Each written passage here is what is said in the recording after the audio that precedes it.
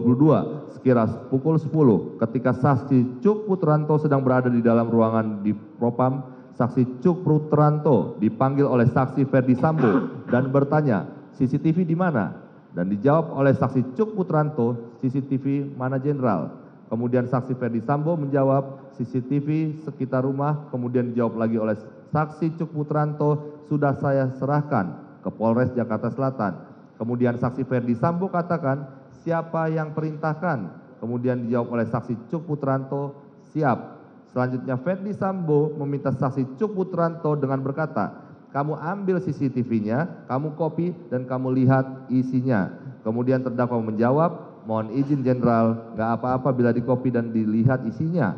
Kemudian saksi Ferdi Sambo berkata, sudah lakukan saja jangan banyak tanya. Kalau ada apa-apa saya tanggung jawab. Dan saksi Cuk Putranto walaupun menyadari perintah tersebut bertentangan dengan kewenangan yang dimilikinya, malah menyetujui perkataan saksi Ferdi Sambo tersebut dengan menjawab siap jenderal.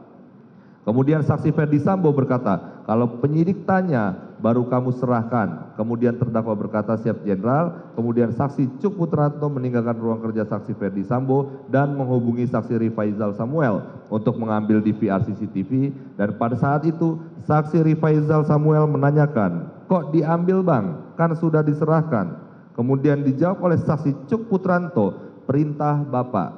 Selanjutnya saksi Cuk Putranto menuju ke Polres Jakarta Selatan dan bertemu dengan penyidik Polres Jakarta Selatan untuk mengambil DVR CCTV yang masih terbungkus plastik hitam yang kemudian disimpan saksi Cuk Putranto di ba- di bagasi mobil Toyota Innova dengan nomor polisi B1617QH milik saksi Cuk Putranto kemudian terdakwa kembali ke kantor Div Propam Mabes